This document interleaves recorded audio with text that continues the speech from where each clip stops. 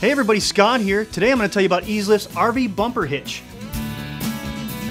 Eaz-Lift's RV bumper hitch allows the use of 2-inch hitch-mounted accessories to your RV's bumper. It's great for lightweight applications like bike racks or cargo carriers. It mounts to any square RV bumper that is 4 inches or 4.5 inches, and it's made of powder-coated steel so it resists rust and corrosion. Eaz-Lift's RV bumper hitch. Get yours today. Camco.net.